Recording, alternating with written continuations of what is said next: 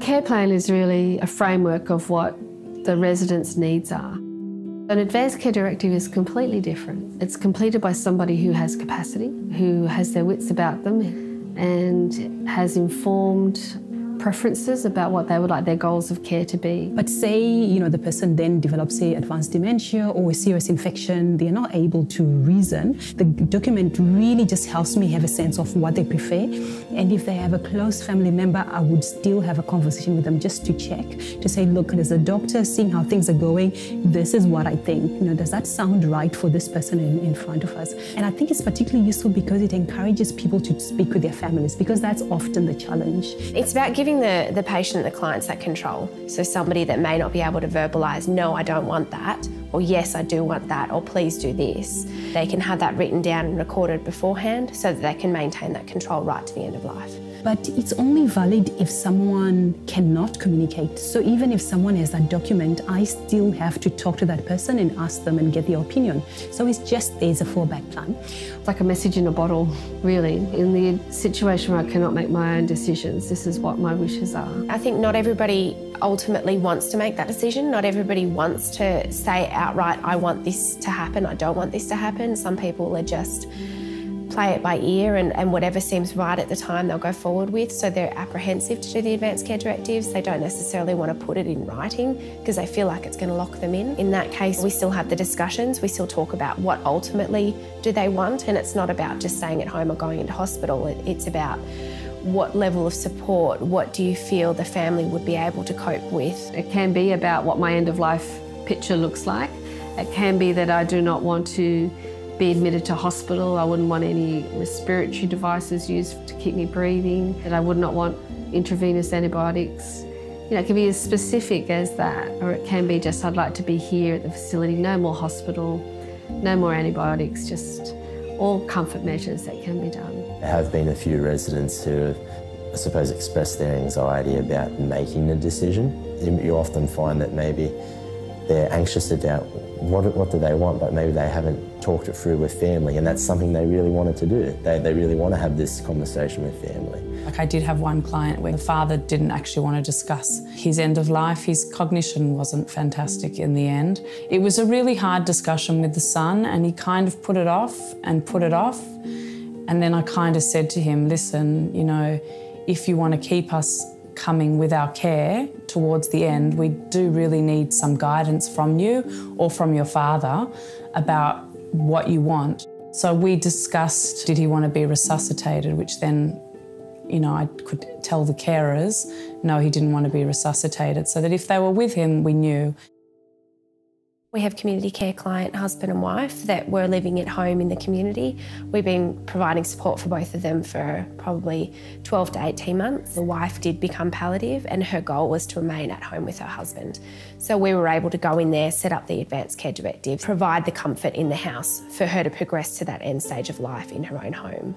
The care workers fed back to me that she wasn't herself ultimately. She was that little bit more teary and she was saying that she didn't want to stay at home. I think she could feel the stress from the family, and then she'd communicated that to, to me and to other care workers. And so she was still very mindful of her family, even though she was, you know, towards the end of her life. Where previously she had adamantly said, I want to stay at home, I want to be here, I want to pass away in my home with my family surrounding me, but I think she realised that it was too stressful for them. I went out to her face to face and had a discussion with her, as well as meeting with, with her husband and the family. From there, the decision was made with, with her consent, and her ultimate goal in mind was to go up to hospital.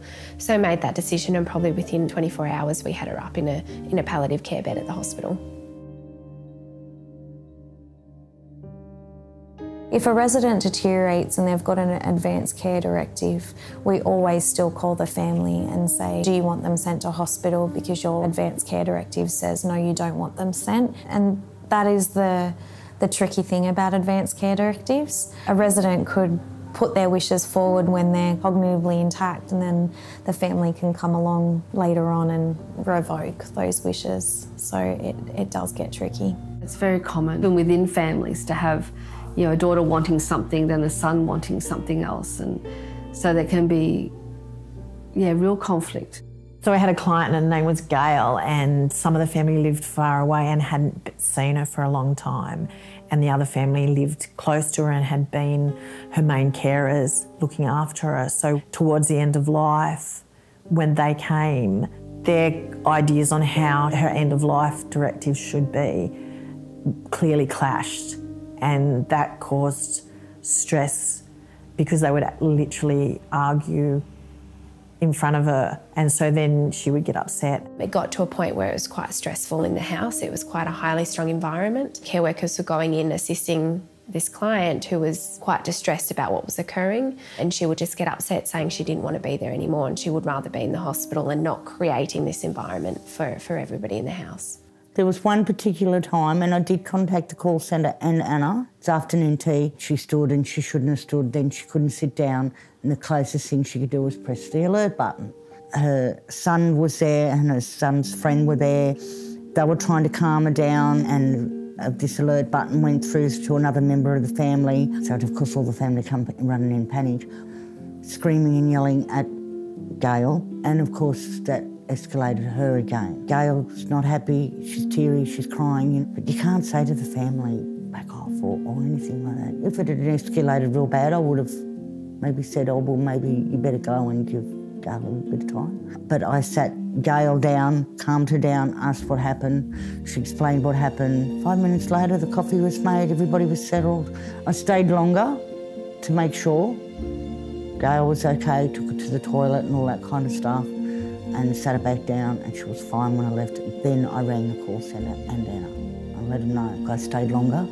I couldn't leave her in that situation on her own, crying, upset. Yeah, that's a difficult one, that one. There's a range of different things there uh, that I suppose care staff should be mindful of when interacting with, with family members.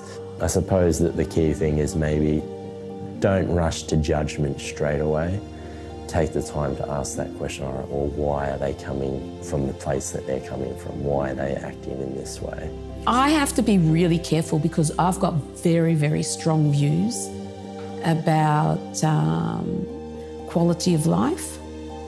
And I truly believe that if there is somebody who can't have quality of life, who can't talk, who can't feed themselves, and they beg you, let me go, then it's their right to have that. Unfortunately, a lot of families don't want to let go because they feel guilty towards the end. And it's not my right to say, need to get a care directive to say, do not resuscitate. Now, that is stepping over the line. All it achieves is hostility between the family and the care worker. Because it's not about you and it's not about the family. It's about the client. You have to be really careful. There's a very fine line, and you can't step over that line.